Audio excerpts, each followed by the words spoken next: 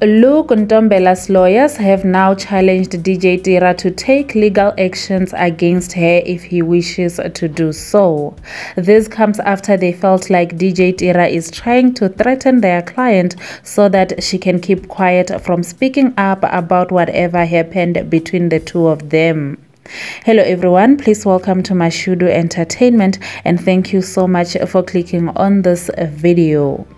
So after Luke Ntombela came out and exposed DJ Tira on social media, Tira took the allegations made against him to his lawyers, demanding Luke to retract everything she posted about Tira on social media and make a, pub a public apology to him.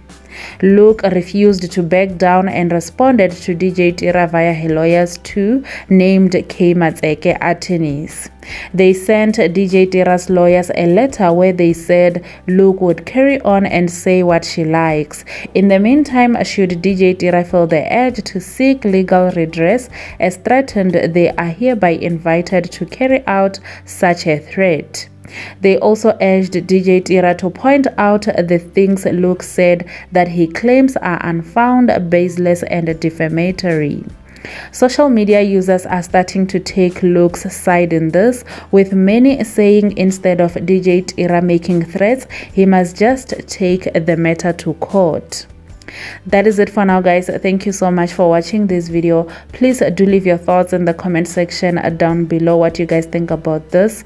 Also please remember to like the video and subscribe to the channel for more on entertainment and celebrity news. Bye guys